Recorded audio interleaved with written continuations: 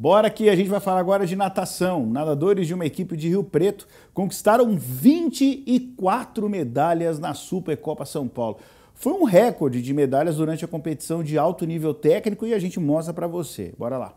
Medalhas no peito e o sentimento de dever cumprido.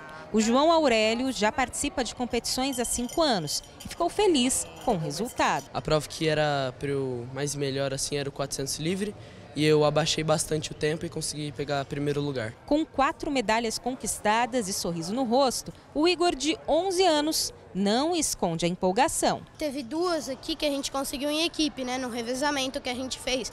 Para mim foi muito importante porque a gente tinha duas meninas que estavam numa categoria menor e a gente conseguiu pegar medalha mesmo assim. Estreando em competições, a Sophie conquistou duas medalhas. Foi muito legal, é, eu gostei muito e no começo eu fiquei com muito medo, porque as meninas eram muito grandes. Os atletas dessa equipe de natação de Rio Preto bateram recorde na conquista de medalhas durante a quinta Supercopa São Paulo de natação.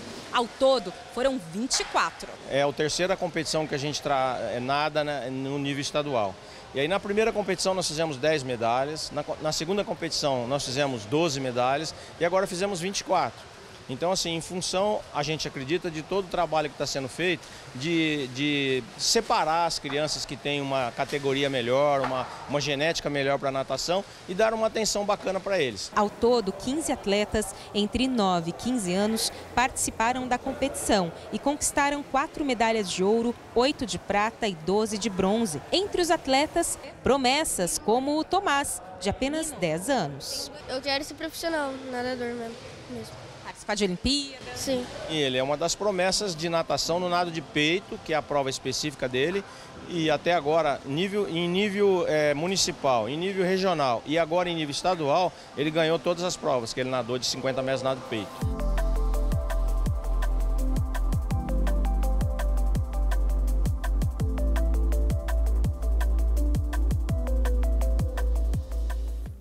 É isso aí, galerinha. Parabéns e ó, Vamos nadar que tem muita coisa ainda pela frente.